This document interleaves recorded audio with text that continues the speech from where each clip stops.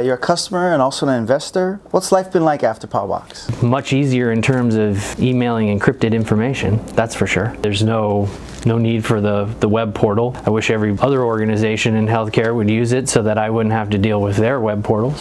You were talking about one where you couldn't even reply to the encrypted Yeah. email. Can you tell us more about that? Yeah, there's a one one that I get. I think it's called Barracuda. That like if they send me an encrypted email, I can read it, um, but I can't reply to the email. There's no inside the web portal, right? There's no ability to reply to it. And also, if I reply to the message, just the the message that hey, you've received an encrypted email, I get a no reply email address. So I have to then sort of find the person's email address, create a new document that's not referencing, you know, it's not a reply to that, and then send that, which is pretty frustrating. That's incredible. Yeah. That's a publicly traded company.